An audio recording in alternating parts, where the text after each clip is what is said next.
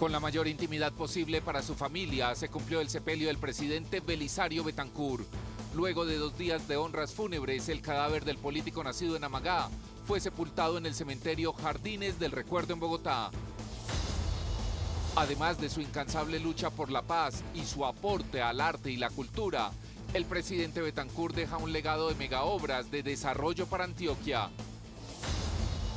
La fiscalía capturó a ocho presuntos integrantes de una red transnacional que en Israel vendía paquetes para explotación sexual de niños y adolescentes en Medellín y otras ciudades de Colombia.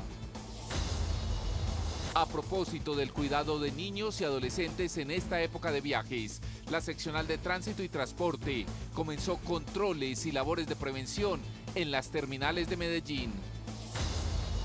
Gremio Transportador pide al gobierno mayor seguridad en la vía a la costa caribe, especialmente en alrededores de Valdivia. Esta madrugada cinco camiones fueron incinerados en un retén ilegal.